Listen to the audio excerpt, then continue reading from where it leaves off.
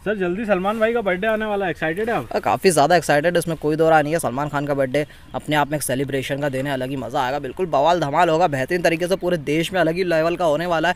Fans club जितने हम सभी जानते हैं कि सलमान खान के कितना ज़्यादा फ़ैन क्लब्स खुले हुए हैं। नंबर ऑफ़ फैंस क्लब्स की बात करूँ, कितने सारे खुले हुए हैं। कई कई शहरों में बड़े बड़े शहरों में छोटे छोटे शहरों में सभी जगह खुले हुए हैं। सलमान भाई के बर्थडे पर सभी लोग अपने यहाँ पर मतलब एक पूरा कार्यक्रम जैसा रख देते जैसे यार, अपने घर के बच्चों बच्चों का भी बर्थडे शायद इतने अच्छे से नहीं मनाते होंगे जितना बोलो सलमान भाई के बर्थडे पर सलमान भाई को तो पता भी नहीं है कि क्या क्या क्या हो रहा है। लेकिन सिर्फ़ उनका फ़ोटो लगा देते हैं बैनर लगा देते हैं फ्लैक्स लगा देते हैं, उसमें उनके फ़ोटो के, फ़ोटो केक वेक काट के उनको केक खिलाकर ऐसा करते हैं फ़ोटो वगैरह पे।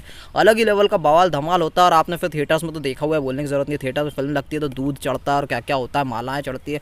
बवाल धमाल हो जाता है अंतिम जैसी फ़िल्म में होगा जबकि अंतिम तो उनकी फ़िल्म थी भी नहीं, जबकि वो ऐसा इंडिविजुअल तो उनकी फ़िल्म थी भी नहीं। तो आप सोचो क्या बवाल धमाल होता है, सत्ताईस दिसंबर को सलमान भाई का बर्थडे आने वाला तो काफ़ी ज़्यादा एक्साइटेड है एडवांस में फिर से सलमान भाई को हैप्पी बर्थडे कह रहा हूँ मैं। मज़ा आ जाने वाला है, बिल्कुल उनके बर्थडे पर अलग ही ओकेशनों का मज़ा आ जाने वाला है, बिल्कुल। और सत्ताईस दिसंबर को उम्मीद है हमें कि भाईजान का भी हमको कुछ देखने को मिल जाए मोस्ट प्रोबेबली चांसेस है इस बात के कि सलमान खान के बर्थडे पे, यानी कि सत्ताईस दिसंबर को हमको देखने को मिलने वाला है भाईजान का टीज़र तो एक के बाद एक और बेटर चीज़ हो जाएगी, यानी सोने पे सुहागा वाली बात हो जाएगी कि सलमान भाई का बर्थडे, ऊपर से भाईजान का टीज़र और फिर भाईजान का टीज़र आने के बाद जो हाइप होगी ना भाई अलग ही लेवल की हाइप क्रिएट हो जाए, क्योंकि सलमान खान को पता है कि उनके ऑडियंस को क्या चाहिए और वो अपनी ऑडियंस को वो चीज़ डिलीवर करते हैं, इसलिए थोड़ा सा टाइम लेकर करते हैं भले ही। लेकिन वो उनके टीज़र में ऐसी कोई ना कोई चीज़ आपको देखने को मिलेगी जो हाइप अलग ही लेवल की क्रिएट कर देगी, मज़ा आ जाएगा। अभी तो थोड़ा सा डाउटफुल अभी भी कहीं ना कहीं चल ही रहा है भाईजान को लेकर उनके लुक की वजह से, इन सारी चीज़ों की वजह से। कहीं ना कहीं डाउटफुल चल रहा है यार फ़िल्म ऐसी होगी, वैसी होगी फराज शाम को लेकर लेकिन मज़ा आ जाने वाला है भाईजान पर और हैप्पी बर्थडे सलमान भाई को सत्ताईस दिसंबर को एडवांस में।